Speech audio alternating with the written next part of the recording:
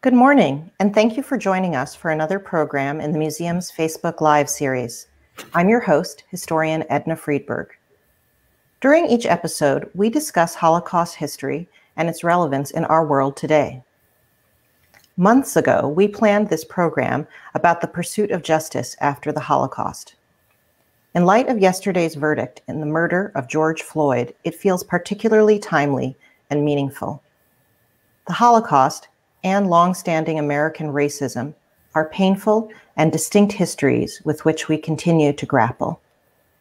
In both instances, individuals and organizations have worked to achieve some measure of justice for victims targeted because of who they are. We hope that this conversation can shed light on the causes of hatred and the manifest forms of justice in its aftermath. Today, we will speak with a former Nazi hunter to learn about efforts to prosecute perpetrators of crimes committed during the Holocaust and to compensate survivors and their families decades after the war ended. I am pleased to be joined by my colleague, museum historian Dr. Elizabeth White. She has almost 30 years of experience preparing cases to prosecute and remove from the United States perpetrators of Nazi crimes. Hi there, Barry. Good morning, Edna. It's nice to see you. Same here. During today's program, please send us your questions for Barry by posting them in the comment section, and we'll get to as many of them possible live as we have time for. Barry, let's begin by setting the stage. Although some prominent leaders of Nazi Germany were prosecuted for their crimes in the immediate aftermath of the war, why were so many others able to evade the law? Well, yes, thousands of Nazi officials and collaborators were tried in courts throughout Europe immediately after the war. But for the most part, the focus of those trials had not been on the crimes of the Holocaust. So, for example, we have an image here from the most famous trial of 22 top German leaders. Uh, but that focus of that trial was on the Germans' guilt for waging an aggressive war in which they committed mass war crimes against many groups of victims. Important information about the Holocaust came out in the trial, such as the mass killing with poison gas of Jews in places like Auschwitz, and the estimate of 6 million Jewish victims. So people who followed the trials understood that um, the Germany had treated the Jews very, very badly, but there is still a tendency to see the Jews as one of many victims of Nazi Germany and not really to understand the uniquely evil treatment that the Germans meted out to the Jews. And so, since little information came out at this time in these trials, especially about the lower level perpetrators of Holocaust crimes, many, many, many of them were able to avoid detection. And indeed, what we um, most commonly refer to as the Nuremberg trials, it was um, a series of trials and they were military tribunals. So these are pointedly war crimes trials, not Holocaust trials. Right. Um, could you explain then how the mood of the international community began to change? There was sort of a flurry of prosecutions, uh, some local, some international, right after the war, but that then also affected efforts to bring uh, Nazis and their collaborators to justice. What happened? Well, by 1948, uh, relations between the Soviet Union and its former allies, the US, Britain, and France, had soured to such extent that there was real fear that World War III was about to break out. This was the start of that four decade era that's known as the Cold War. And in that climate at that time, people on both sides just lost interest in bringing the criminals of World War II to justice. So trials almost completely stopped. And a decade later, pretty much everybody had been convicted but not executed was set free. Um, and this was especially true for the perpetrators of Holocaust crimes because, after all, most of the murders of the Holocaust happened in countries that during the Cold War were behind the Iron Curtain. So much of the documentation about the crimes was there behind the Iron Curtain, seized by those communist countries and stashed away in archives that only communist security officials could access for the duration of the Cold War.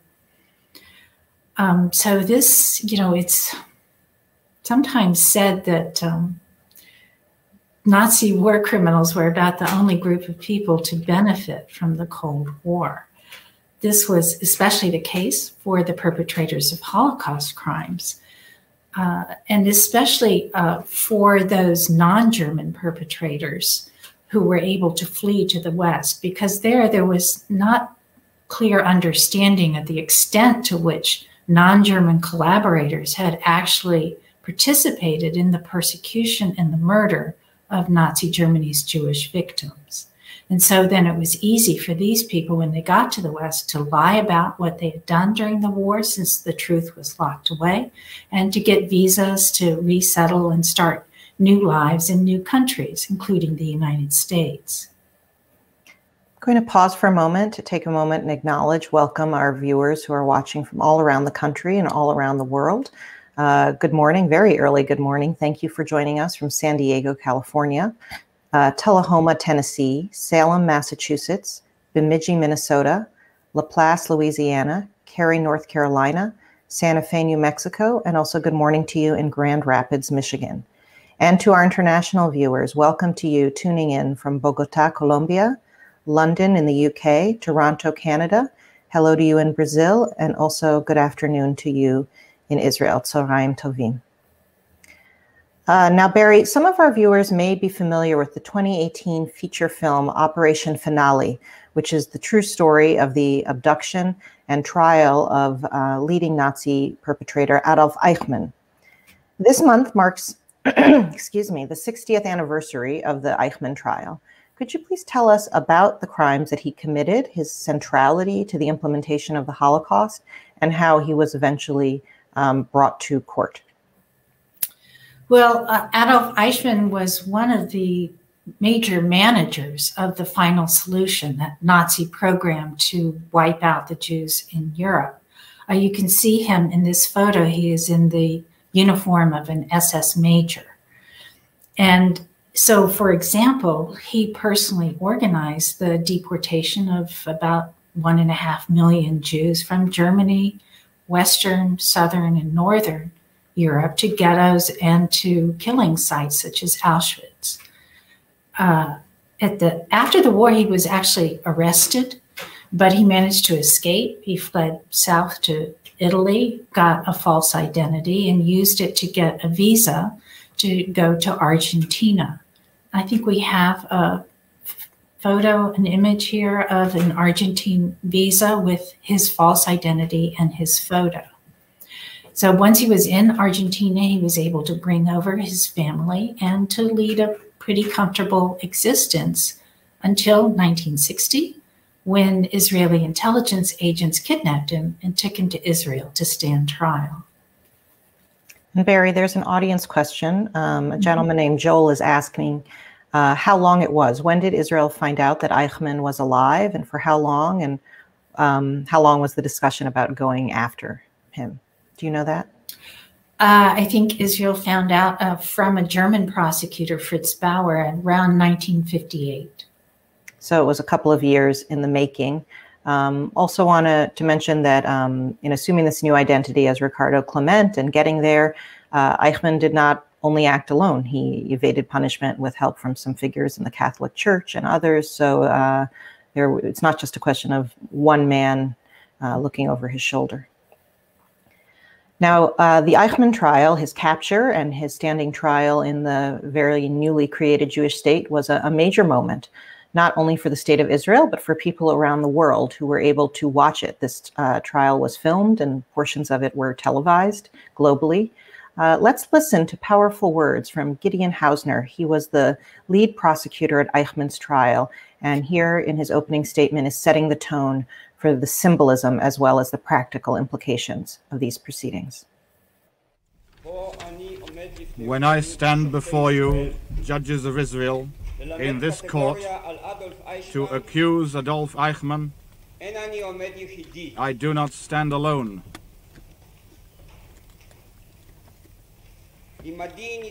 Here with me at this moment stand six million prosecutors. But alas, they cannot rise to level the finger of accusation in the direction of the glass dock and cry out, J'accuse, against the man who sits there. Because their ashes have been piled up in the mounds of Auschwitz and the fields of Treblinka or spilled into the rivers of Poland, and their graves are scattered throughout the length and breadth of Europe. Their blood cries to heaven, but their voice cannot be heard.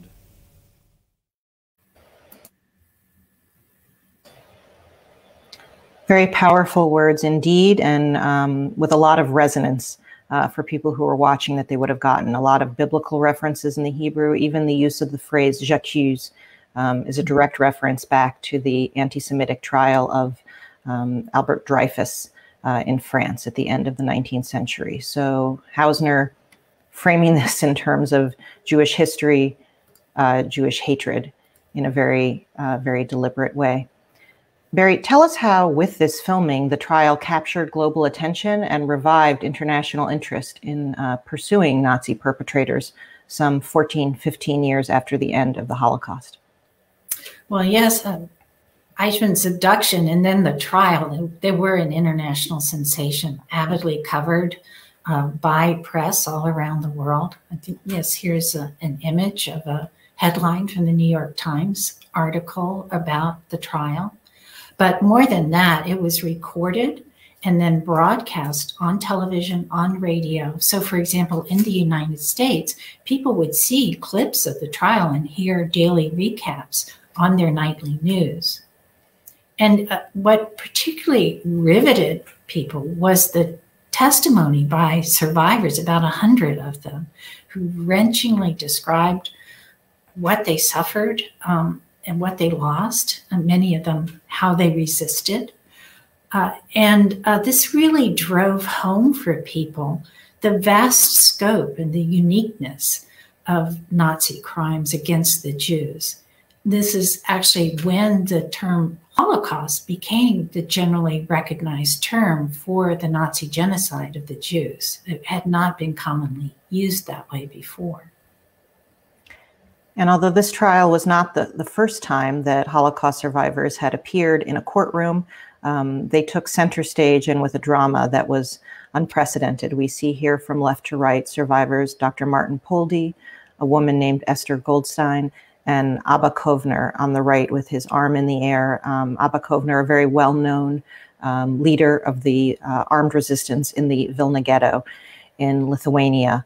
Um, so, really, people speaking both about their experience as witnesses, but also giving voice uh, to the to the loss and the anger um, that was happening. Mm-hmm.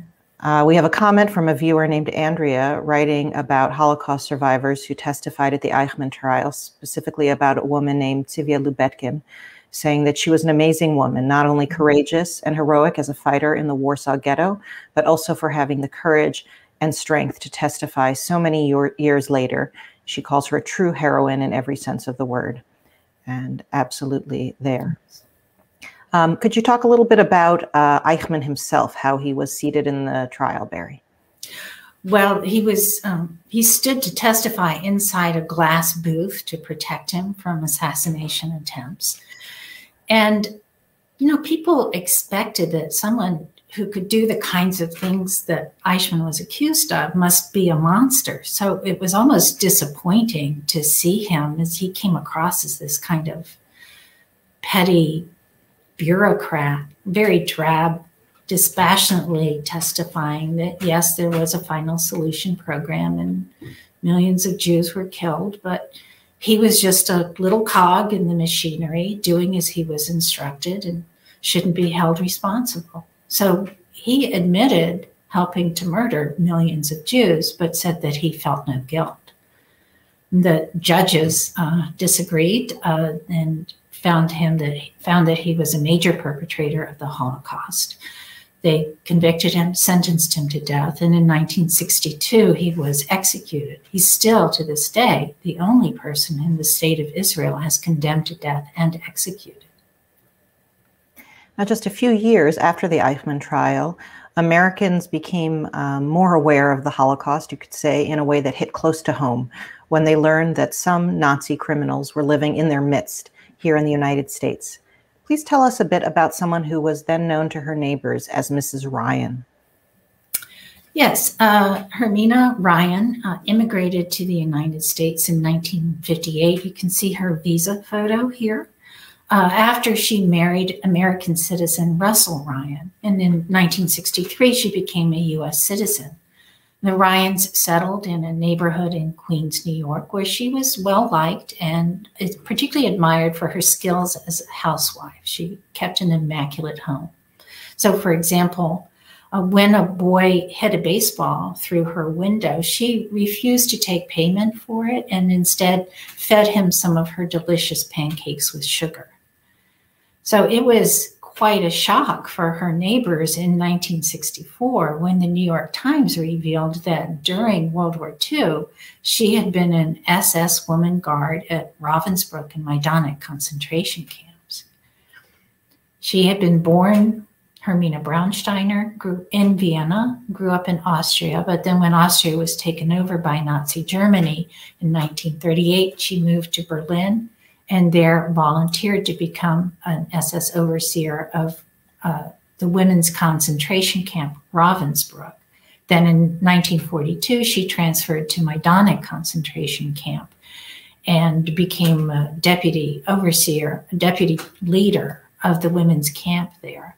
It was at Majdanek that prisoners nicknamed her the stomping mare because of her habit of savagely kicking women prisoners with steel-toed boots after the war, she went back to Austria and was arrested and tried for crimes at Ravensbrück, convicted but very quickly released.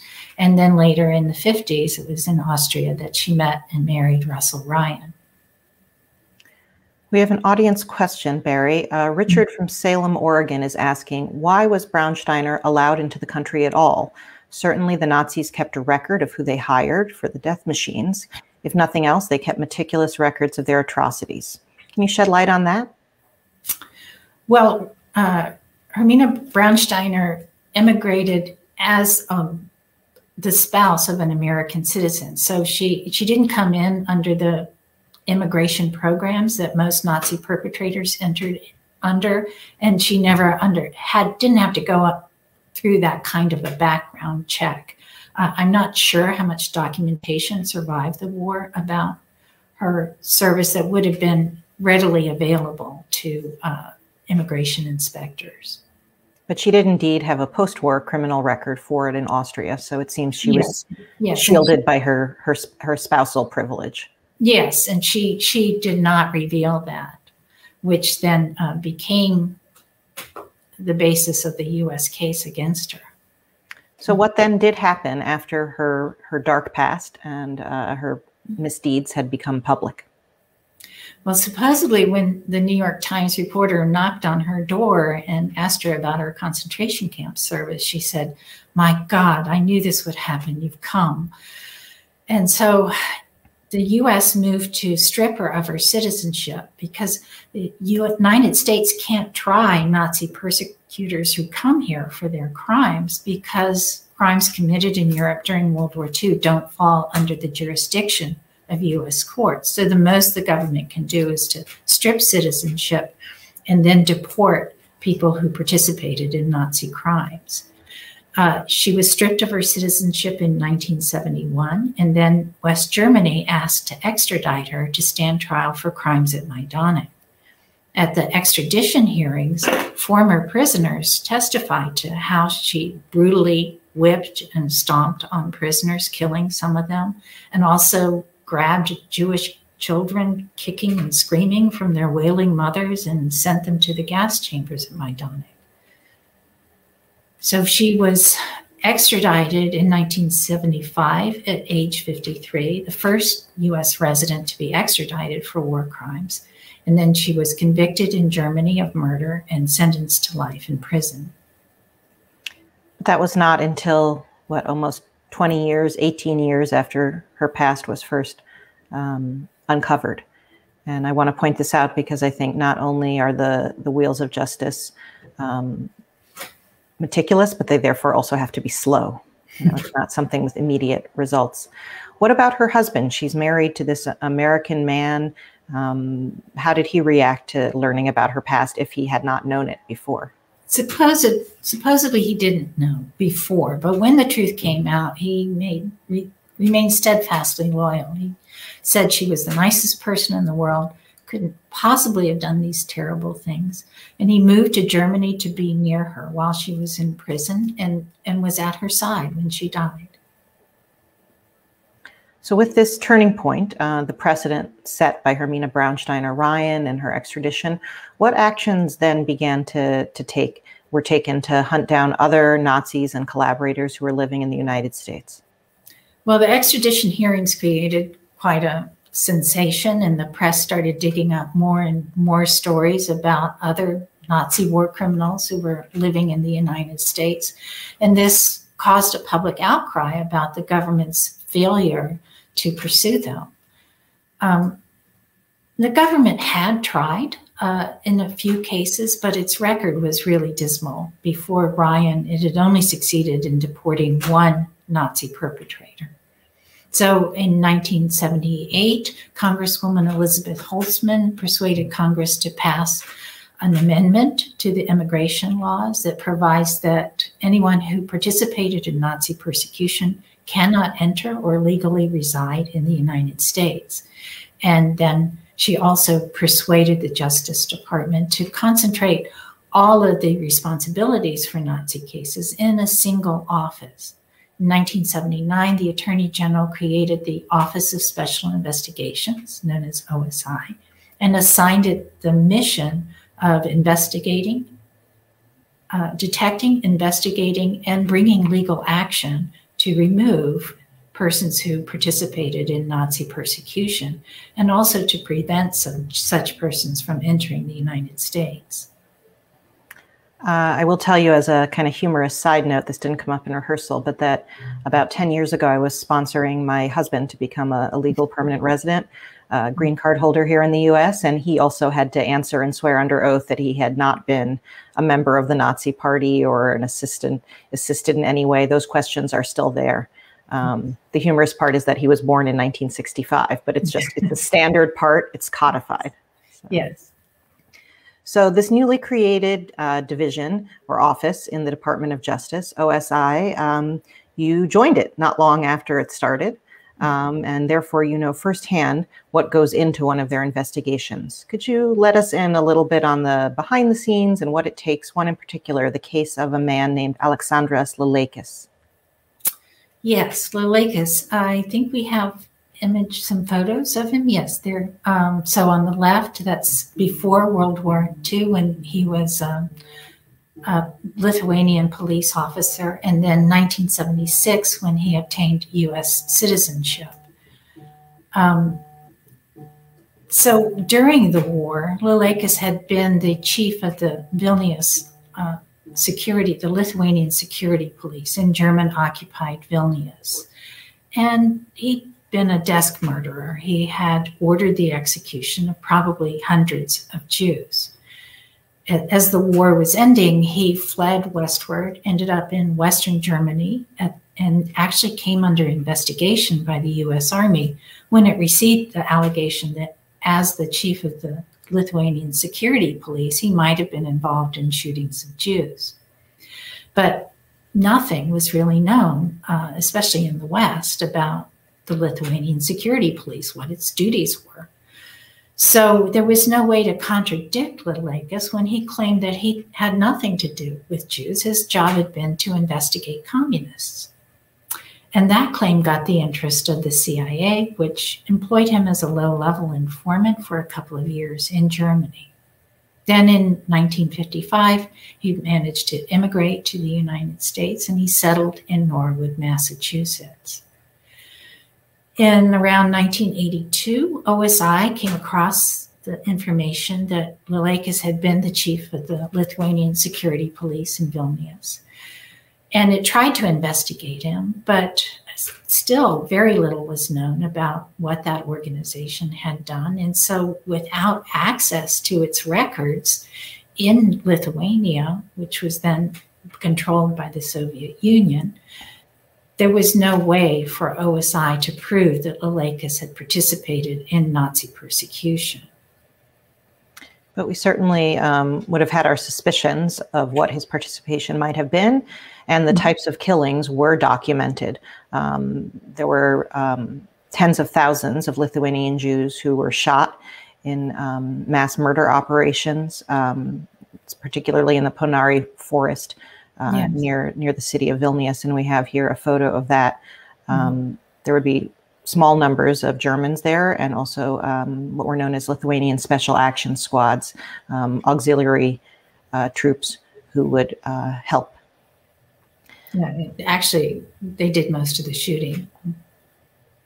Now, timing was everything in this case. Um, the Iron Curtain, as you had mentioned earlier, uh, was um, making it impossible to access certain records, and so therefore offered protection, a measure of protection for decades to people like Lileikis. How did the end of the Cold War change the outcome of OSI's pursuit of this perpetrator? Well, uh, you know, OSI did win a number of cases in the 80s, but its investigations were seriously hampered against people like Lileikis because of access to the archives behind the Iron Curtain.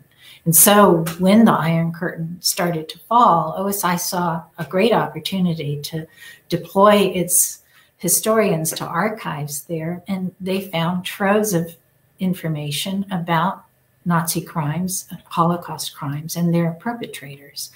So, in the case of Lileikis, an OSI historian found the records of the Lithuanian security police in Vilnius and of the central prison that he had commanded.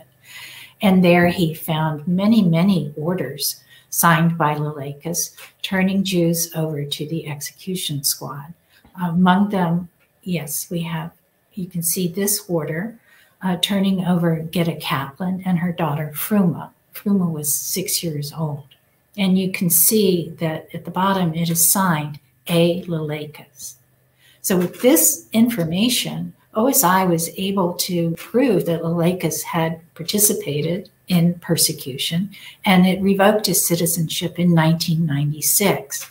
About a month later, he Lithuanian officials gave him a passport and he went back to Lithuania with the understanding that he was not going to be tried. But then the United States put tremendous pressure on Lithuanian authorities. So in 1998, they charged him with genocide. But the proceedings dragged out until Lileikis finally died in 2000 at the age of 93. And that was without a verdict, without any resolution. Yes. We would like to give special thanks to our partners and colleagues at the U.S. Department of Justice, uh, former colleagues of Barry's there, Eli Rosenbaum and Susan Masling um, in the U.S. Department of Justice, what is now the Human Rights and Special Prosecutions section. They uh, helped us in preparing for this program and shared information. So thank you, Eli and Susan. Now, Barry, those of us who um, follow these kind of prosecutions know that OSI is probably the most effective of any law enforcement agency charged with investigating crimes of this type from the Nazi era. And it has won more cases, correct me if I'm wrong, it has won more cases over the past 40 years than have the government authorities of all of the rest of the countries of the world combined. Is that right? I, I believe that is right. Yeah. And it's it's pretty amazing because when OSI was founded, almost no one expected it to last long or to have any success. So when I was hired in 1983, I was told that the office would last three to five years at most. Instead, it lasted 31 years, and then its personnel and duties were transferred to the Human Rights and Special Prosecutions section, which is still continuing its mission.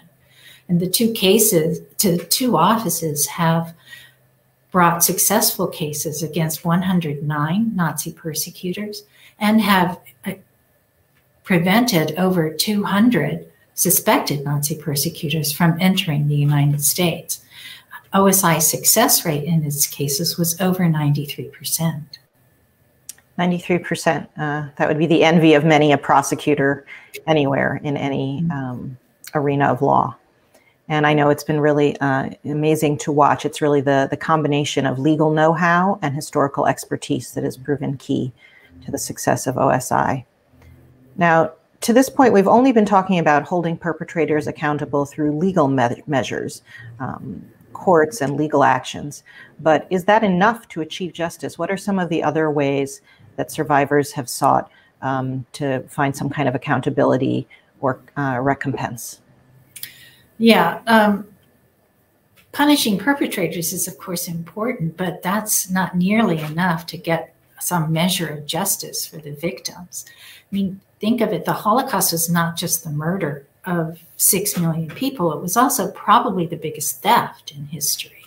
So, everywhere German forces went, Jews were robbed of literally everything they owned or held dear their homes, businesses, personal possessions, their places of worship, uh, even their entire communities. I think we have some photos here. Yes, um, showing the synagogue in the Czechoslovak town of Opava in 1938 um, in its grandeur uh, before the Holocaust and then during its destruction on Kristallnacht in 1938. Oh, and this is a crate full of wedding rings that were taken from Nazi victims. Uh, I think this was found at Buchenwald by US soldiers. So the survivors at the end of the war were left with nothing no homes to go back to, uh, nothing to help them start living again. And many of them suffered very grave physical and emotional effects from the torture and the trauma that they had endured. So Jewish organizations banded together to advocate for reparations and compensation to help the survivors start new lives. One of the persons involved in that was Ben Ferencz. He was a U.S. immigrant who'd served in the Third U.S. Army during the war. And at the ripe age of 27 uh, in 1948, he prosecuted one of the 12 subsequent Nuremberg trials. Immediately after that, he went to work trying to get restitution and reparations for Jews in Germany. And he was one of the negotiators to persuade West Germany to pay reparations to survivors and the state of Israel. And uh, Ben remind, remains a dedicated champion in the pursuit of justice. Um, he now, at the age of 101, um, has given us a recent interview where he describes the steps that need to be taken to provide ongoing justice for the victims of genocide and mass atrocities. Let's have a listen to Ben. First, you end the war, then you provide restitution for the victims, then you're preventing it from happening again. We will not try to put a value on a human life. We will ask for compensation on the normal principles of the law. Compensation is vital, so they know they won't get away with it. They know they're going to have to pay through the nose for any wrongdoing, which exists in civil society. So the financial deterrent effect is there, but more important than that, uh, the sense of justice. I'm struck hearing that. It reminds me as a teenager of um, being with my grandmother, uh, who would receive a small blue envelope periodically from the West German government containing a reparations check. Um, as I recall, the checks were very small, I think under $100 every quarter or something. Mm-hmm. But uh, it meant a lot to her. She had three sisters who were murdered, two brothers who were murdered, her parents, her entire extended family. And this little blue envelope uh, could not bring them back, but was an acknowledgement of her loss. It, it felt very, very important. Mm-hmm. Um, so, how successful were these post war efforts uh, to redress the wrongs that, that victims had suffered in financial terms? Um, in financial terms, not not very. Um, as you say, the reparations were not very generous. Uh, Jews in Western Europe did get help in resettling, um, but Jews in, behind the Iron Curtain basically got nothing. And it was extremely rare for any survivors to uh, get back anything that they or their families had owned. But with the end of the Cold War, there was new momentum to try to get justice for the survivors, especially for those who'd been living behind the Iron Curtain. And those efforts are continuing today. Let's uh, elaborate on that a little bit, actually. We have an audience question from Alejandro who asks Now, at nearly 76 years after the end of World War II, how many confirmed Nazi war criminals may still be alive and are being pursued or imprisoned. I know there was a recent case just a couple of months ago here in the United States, right?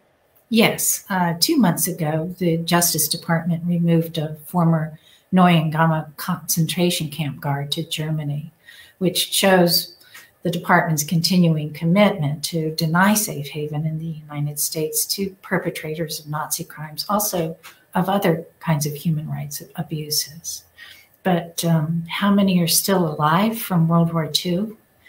Well, you know, not not very many because any who are still living would be well into their 90s. This man who was removed was 95. So, Barry, based on your experience, both uh, working at OSI but also as a historian, in your opinion, how have the decades of pursuing justice, or at least some measure of accountability um, following the Holocaust, taught us? How are they instructive in responding to modern day current atrocities? Well, the, the years long efforts of Holocaust survivors to get justice really demonstrate that uh, victims and survivors of genocides and mass atrocities can't expect that justice is something that's going to be provided to them by governments or international organizations. Uh, and so it's really important that, like Holocaust survivors, they band together and really push for justice for the wrongs that were done to them.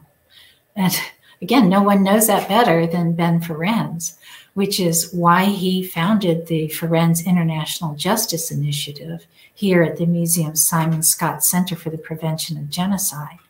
Just last month, it published a terrific resource for survivors and victims called Pursuing Justice for Mass Atrocities, a handbook for victim groups. And it provides guidance and practical strategies for how victims and survivors can achieve the kinds of justice measures that they need. It also uses examples of what Holocaust survivors accomplished to show that such efforts can be successful but they do require uh, tenacity, creativity, yeah. um, and patience, a lot of patience. Mm-hmm. Uh, for viewers who are interested, we will provide links to these Ferencz Initiative resources that Barry mentioned, including the new handbook, in the comment section. So please do check there later uh, to follow those links. Uh, in closing, Barry, I'd like to ask you what you think about whether these efforts to pursue justice, um, the, the search for accountability, could these one day have any impact on preventing or mitigating future genocides and future atrocities?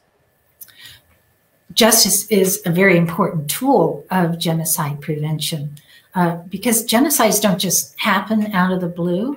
They're almost always preceded by incidents of mass violence targeting groups. And that kind of mass violence is one of the primary risk factors for future genocides. And so justice is very important for breaking that cycle of violence, both by showing that perpetrators will be punished, but also by building institutions that people trust to protect them and treat them fairly so that they won't feel the need to resort to violence. So it's about breaking those cycles as well and giving mm-hmm. some sort of um, hope, or as you said, trust that there are systems in place. Mm-hmm.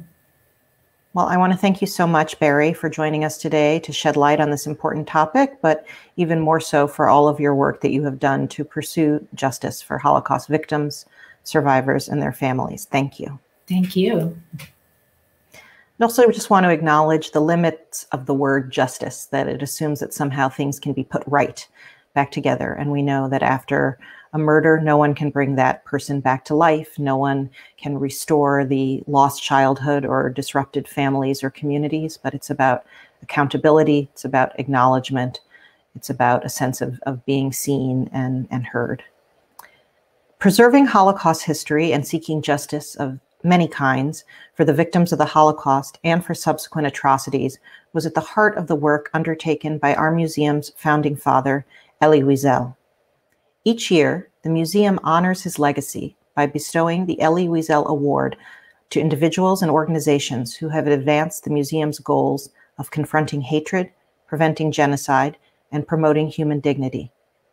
This year, the recipients of the Elie Wiesel Award are Ambassador Stuart Eizenstat, pictured here on the left, and the Justice Department's Office of Special Investigations, led by Eli Rosenbaum, pictured on the right, about whom we learned today. Ambassador Eizenstat and the OSI have worked tirelessly to secure some measure of justice and accountability for Holocaust survivors, and we are so pleased to give honor to and attention to their work with this year's award. You, our viewers, we are very glad that you were with us today, and we invite you to join us for our next Facebook Live program. Same time, same place in two weeks on Wednesday, May 5th at 9:30 a.m. Eastern Time here in the US. Our program will be about the myth of the perfect mother, propaganda, and conspiracy theories. We will examine how the Nazis manipulated the concept of motherhood and femininity to encourage women and girls to do their part in creating what they termed a pure master race. We'll also talk about how that myth is being exploited today in conspiracy theories that continue to divide society and jeopardize democracy. So we hope you'll be back with us then. Until that time, wherever you are, be safe and healthy.